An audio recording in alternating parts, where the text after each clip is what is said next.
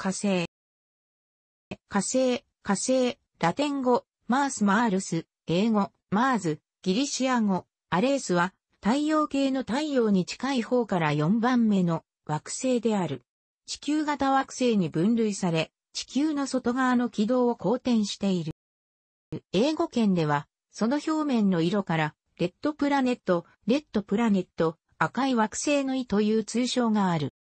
火星は地球型惑星に分類される、いわゆる硬い岩石の地表を持った惑星である。火星が赤く見えるのは、その表面に地球のような水の海がなく、地表に酸化鉄、赤サビが大量に含まれているためある。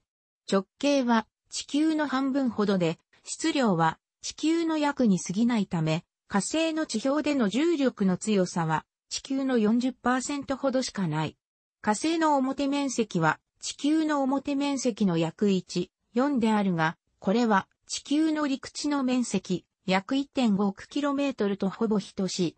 火星の自転周期は地球のそれと非常に近く、火星の1日、1火星太陽日、1ソルは24時間39分35.244秒である。また地球と同じように太陽に対して自転軸を傾けたまま公転しているので、火星には季節が存在する。地球や金星と比べて火星の質量は小さい。太陽系の惑星移動のモデルであるグランドタックモデルによると、木星は火星形成前に一度火星軌道程度まで太陽に近づき、後に現在の軌道に落ち着いたとしている。その際、火星の構成に使用されたであろう。質量の小天体を弾き飛ばしてしまったため、火星が大きく成長できなかった可能性を示唆している。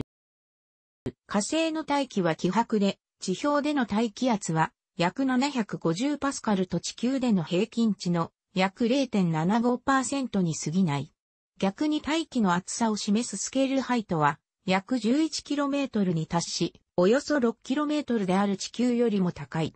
これらはいずれも火星の重力が地球よりも弱いことに起因している。大気が希薄なために熱を保持する作用が弱く、表面温度は最高でも約摂氏20度である。大気の組成は二酸化炭素が95%、窒素が3%、アルゴンが1.6%で、他に酸素や水蒸気などの微量成分を含む。ただし、火星の大気の上層部は太陽風の影響を受けて宇宙空間へと流出していること、ソビエト連邦の無人火星探査機のホボス2号によって観測されている。したがって、蒸気の火星の大気圧や大気組成は長い目で見ると変化している可能性、そして今後も変化してゆく可能性が指摘されている。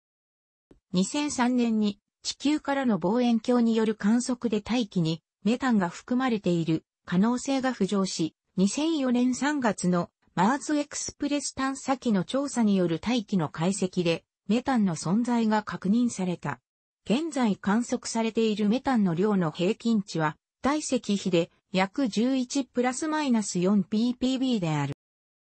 火星の環境下では不安定な気体であるメタンの存在は火星にメタンのガス源が存在する、または少なくとも最近100年以内には存在していたという興味深い事実を示唆している。ガスの生成源としては火山活動や水星の衝突、あるいはメタン菌のような微生物の形で生命が存在するなどの可能性が考えられているが、いずれも未確認である。地球の海では生物によってメタンが生成される際には同時にエタンも生成される傾向がある。一方、火山活動から放出されるメタンには二酸化硫黄が付随する。メタンは火星表面のところどころに局所的に存在しているように見えることから発生したメタンは大気中に一様に分布するよりも短時間で分解されていることが伺える。それゆえ、おそらく持続的に大気中に放出されているとも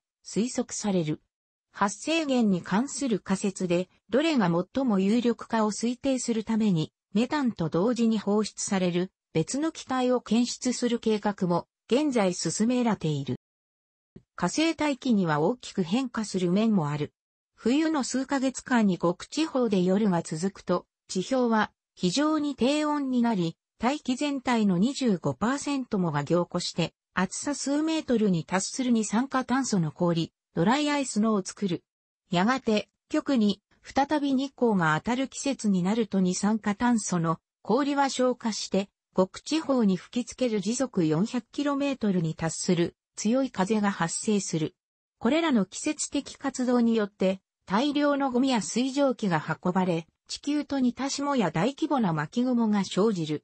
このような水の氷からなる雲の写真が2004年にオポチュニティによって撮影されている NASA 影映像へのリンク。また、南極で二酸化炭素が爆発的に噴出した後がマーズオデッセイによって撮影されている。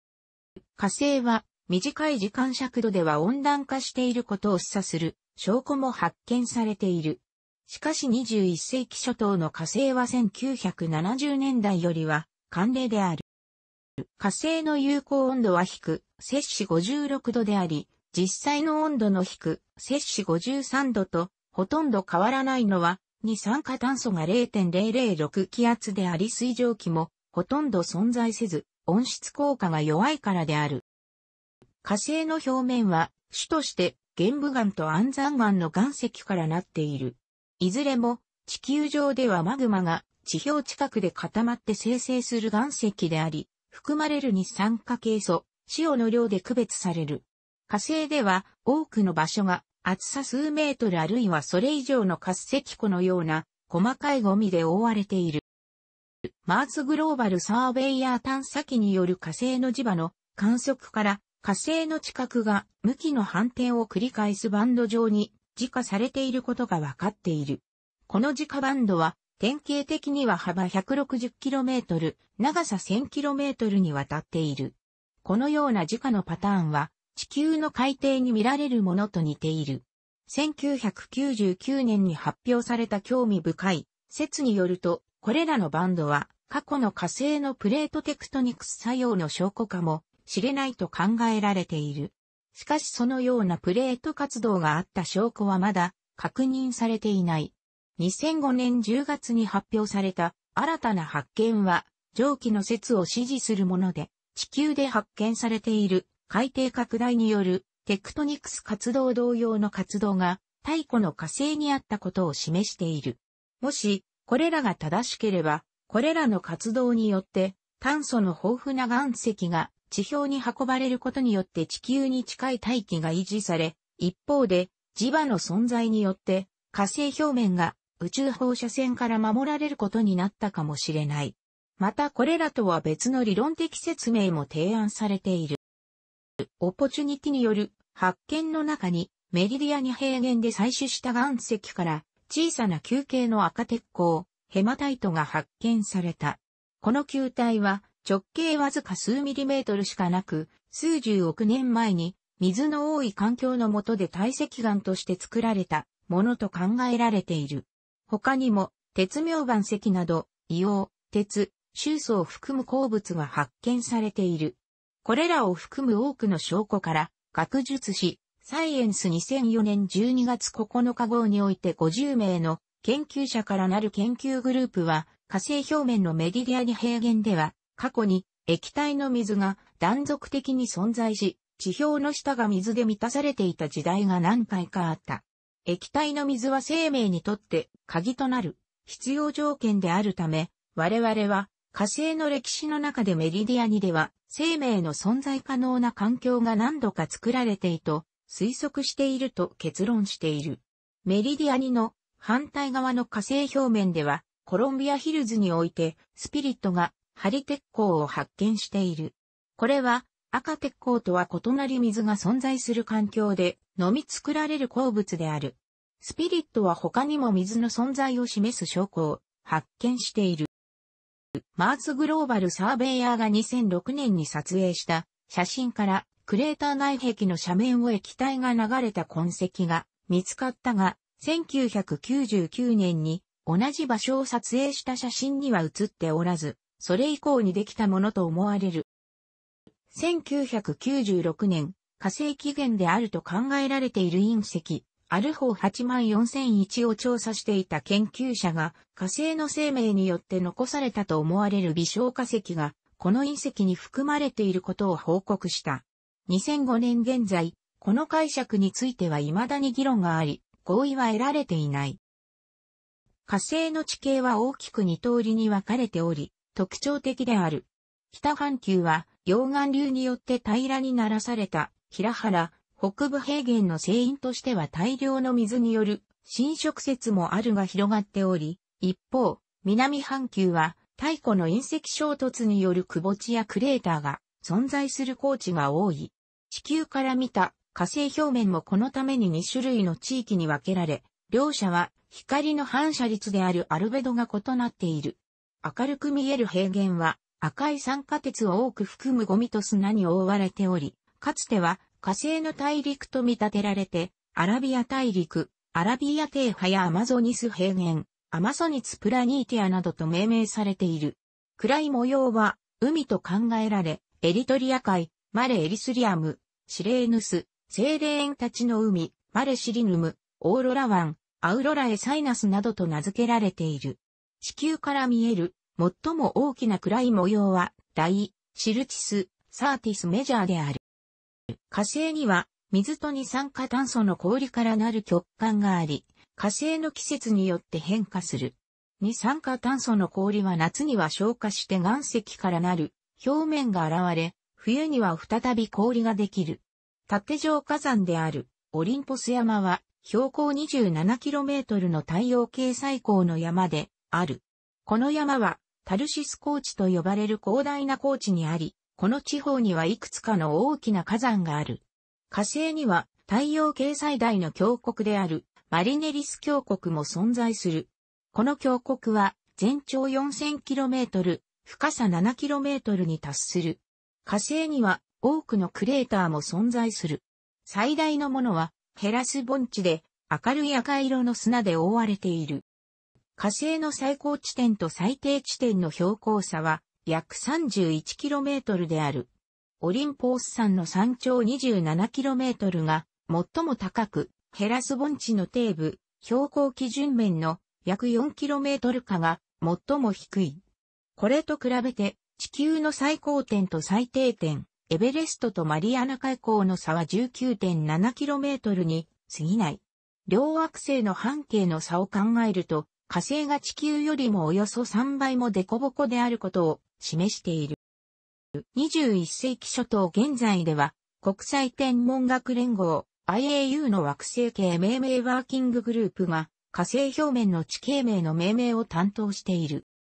火星には海がないので、海抜という定義は使えない。したがって、高度0の面、すなわち平均重力面を選ぶ必要がある。火星の基準測地形は4回4次の球面調和関数重力場で定義され、高度0は温度273.16 K での大気圧が610.5パスカル、地球の約0.6%となる面として定義されている。この圧力と温度は水の30点に対応している。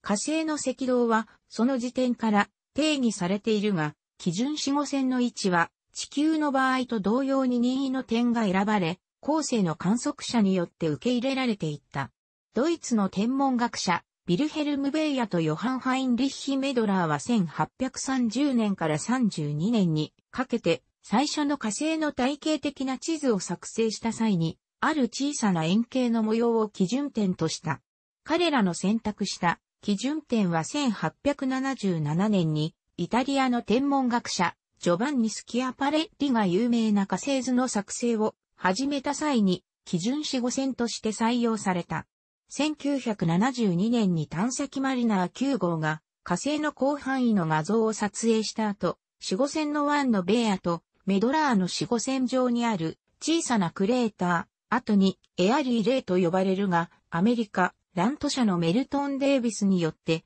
惑星撮影時の制御点ネットワークを決める際により、正確な経度0.0度の定義として採用された。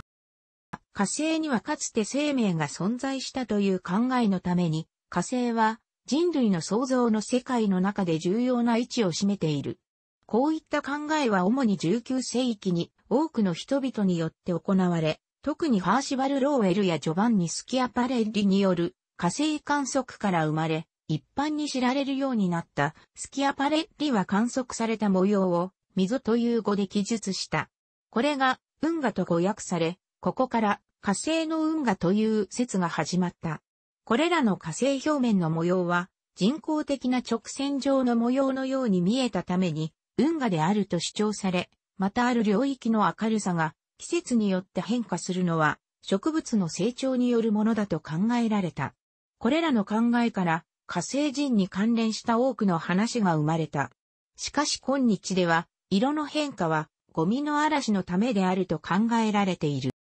火星にはホボスとダイモスの二つの衛星が存在する。共に1877年にアサフホールによって発見され、ギリシア神話で軍神アレースの戦いに同行した息子のフォボス、老媒の意、ダイモス、恐怖の意から名付けられた。アレースは、ローマ神話では戦争の神マルスとして知られている。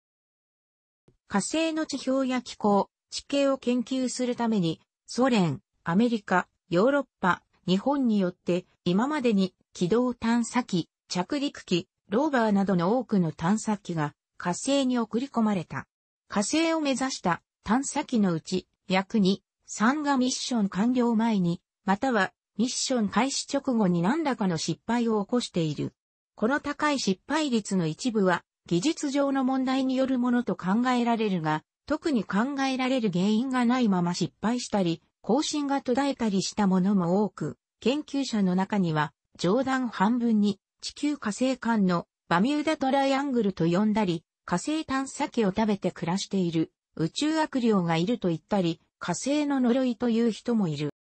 最も成功したミッションとしては、ソ連の火星探査機計画やアメリカのマリナー計画、バイキング計画、マーズグローバルサーベイヤー、マーズパスファインダー、2001マーズオデッセイなどがある。グローバルサーベイヤーは、峡谷や土石流の写真を撮影し、帯水層と同様の液体の水が流れる水源が火星の地表、または地表近くに存在する可能性を示唆した。2001マーズオデッセイは火星の南緯60度以南の南極地方の地下約3メートル以内の氷土には大量の水の氷が堆積していることを明らかにした。2003年、欧州宇宙機関、 ESA は、マーズエクスプレスオビタと着陸機ビーグル2からなる、マーズエクスプレス探査機を打ち上げた。マーズエクスプレスオビタは、火星の南極に水と二酸化炭素の氷が存在することを確認した。NASA はそれ以前に、北極について同様の氷が存在することを確認していた。ビーグル2との交信には失敗し、2004年2月、初旬にビーグル2が失われたことが宣言された。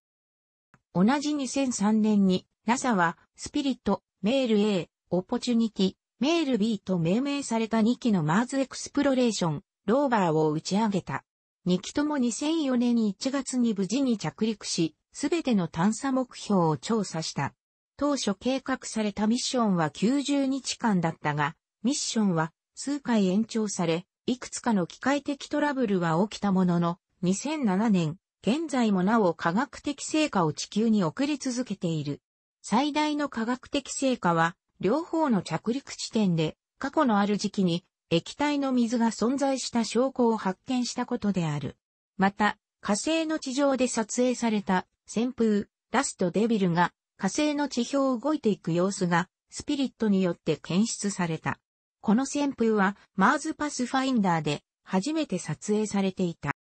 2012年にマーズサイエンスラボラトリーが火星に到着し、キュリオシティ着陸の過程を撮影した 720p、10fps の高精細な動画が地球に送られた。キュリオシティには過去火星に投入された探査機の中では最高の解像度、1600-1200のカメラが搭載されており、次々に高精細なパノラマ画像が送られている。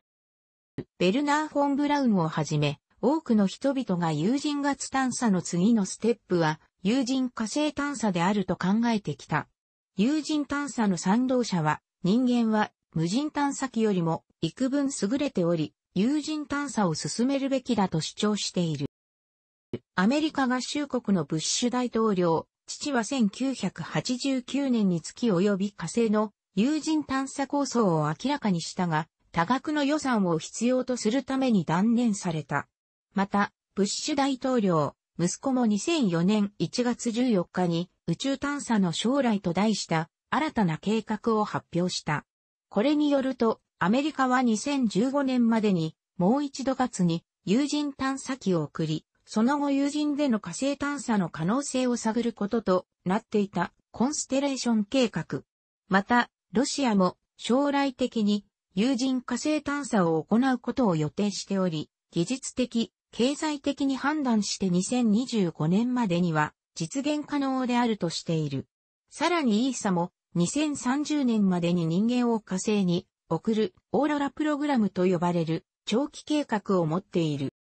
特にネックとなるのは火星への往復と滞在期間の合計で1年強から3年弱という月探査とは比較にならない長期間のミッションであることと運ばなければならない物資の量である。このため火星の大気から機関用燃料を製造する無人工場を先行して送り込み、有人宇宙船は往路分のみの燃料で火星に到達し、探査後に無人工場で製造されていた燃料で帰還するというプランマーズダイレクトなども提案されている。2010年、オバマ大統領はコンステレーション計画の中止を表明したが、同時に予算を新型のロケットエンジン開発などの将来性の高い新技術開発に振り向けるとしており、より短期間で火星に到達できる航行手段が実用化されることが期待される。また、同計画の代わりに、オバマ大統領は2030年代半ばを目標にした新たな有人火星探査計画も発表している。火星探査は近年根強く実施されているが、前述のように探査計画の役に、3が失敗に終わる上に、莫大な予算がかかるとして批判する声も大きい。火星に水がかつてあった。それがどうした？我々の生活に関係あるのか？予算を地球のために使うべきだというようなものである。実際には、アメリカ合衆国を例にとれば、国防費の1、20以下の NASA の予算のさらにごく一部が火星探査に割り当てられているに過ぎないのだが、こうした声を無視することもできず、探査計画の低コスト化が進められている。16世紀デンマークの天文学者、ティコ・ブラーエは、地球を中心に太陽、火星など惑星は太陽の周りを回るが回る変則的な天動説をとっていたが、肉眼によるものでは最も精密に火星の軌道を見した。ティコ、慣習として生でなく、なお通称とするの助手であったヨハネス・ケプラーは、死の死後、観測データを解析することで惑星の軌道が円ではなく楕円であること、さらに火星の軌道から他の惑星の軌道も楕円でありケヘプラーの法則に従うという地動説を主張した。公転速度が速く観測しやすい火星の軌道離心率が冥王星や水星に次いで大きい0.0934であったことも幸運であった。1877年の火星大接近とスキアパレッリの発表に始まった火星文化説に重大な疑問を投げかけたのがエッジワース・カイパーベルトの提唱者の一人である、カイパーである。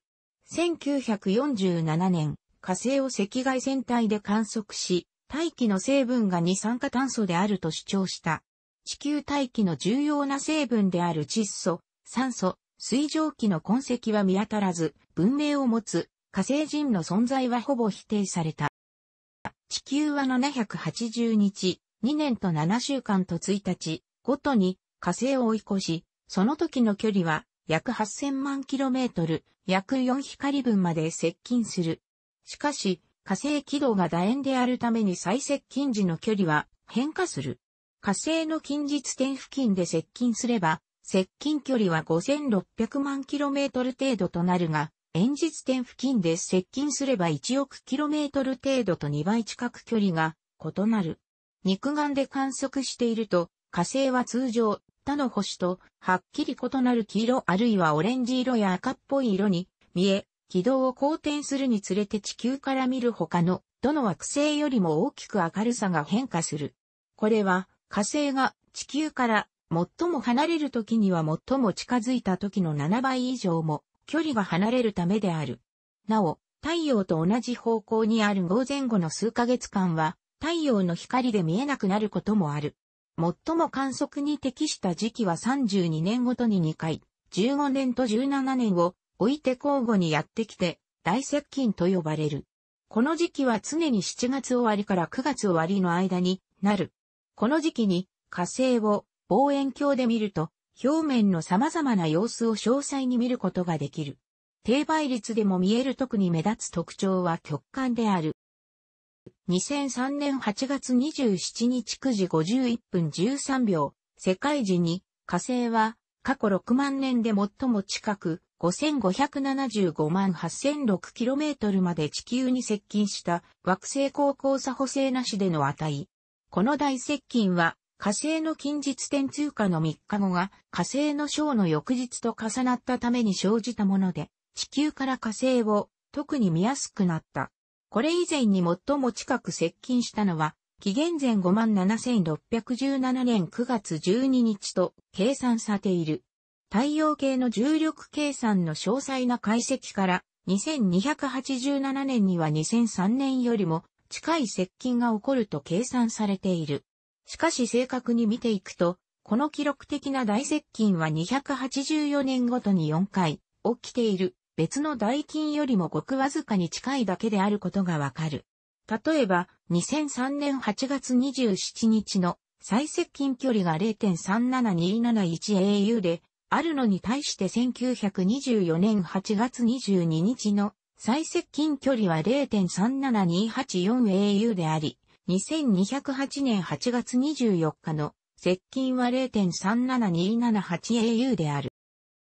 2084年11月10日には火星から見て地球の太陽面通過が起こる。この時には太陽と地球、火星が一直線上に並ぶ。同様に火星から見た水星や金星の太陽面通過も起こる。火星の衛星であるダイモスは火星から見た角直径が太陽のそれより十分に小さいため、ダイモスによる部分日食も太陽面通過とみなせる。1590年10月13日には過去唯一の金星による火星食が起こり、ドイツのハイデルベルクでメストリンによって観測された。地球上で発見されたもののうち、確実に隕石であり、かつ火星に起源を持つと思われる岩石がいくつか知られている。これらの隕石のうち二つからは、古代の最近の活動の痕跡かもしれない特徴が見かっている。1996年8月6日、NASA は火星起源と考えられているアルフォ8万4001隕石の分析から単細胞生命体の化石の可能性がある特徴が発見されたと発表した。しかしこの解釈には未だに議論の余地がある。Solar System Research 2004年3月号 38P97 に掲載された論文ではイエメンで発見されたカイドゥン隕石が火星の衛星フォボスに起源を持つ可能性があると示唆している。2004年4月14日に NASA はオポチュニティによって調査されたバウンスという名前の岩石が1979年に南極で発見された隕石エータ79001 b と似た組成を持っていることを明らかにした。この岩石はこの隕石と同じクレーターから飛散したか、あるいは火星表面の同じ地域にある別々のクレーターから飛ばされた可能性がある。2005年7月29日、BBC は火星の北極地方のクレーターで氷の湖が発見されたと報じた。イーサのマーズエクスプレス探査機に搭載された高解像度ステレオカメラで撮影されたこのクレーターのガニは北緯70.5度、統計103度に位置し、火星北極域の大半を占めるボレアリス平野にある無名のクレーターの底に平らな氷が広がっている様子がはっきりと映っている。このクレーターは直径 35km で深さ約 2km である。BBC の報道ではやや誇張されているが、元々のイーサの発表では、これが湖であるとは主張していない。火星の数多くの他の場所に見られるものと同様に、この円盤状の氷は暗く低温の砂丘の頂上、高度約200メートルに薄い層状の霜が凝結して、クレーターの底に広がったものである。報じられたこの氷が特に珍しいのは、霜のいくらかが一年中残りうるほどこの場所が高緯度にあるという点だけである。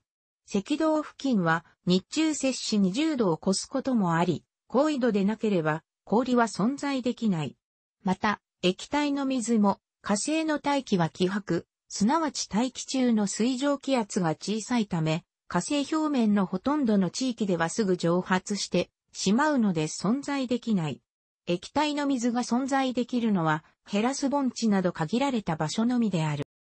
火星はかつては現在よりも確実に生命に適した環境だったという証拠が存在するが火星にかつて実際に生命体が生存していたかどうかという疑問は未解決である。火星起源であると考えられている岩石、特にアルホ84001隕石に過去の生命活動の証拠が含まれていると考えている研究者もいるが、この主張に対しては現状では合意は得られていない。この隕石は数十億年前に生まれて以来、液体の水が存在できるような温度に一定期間、さらされたことはないことを示す研究もある。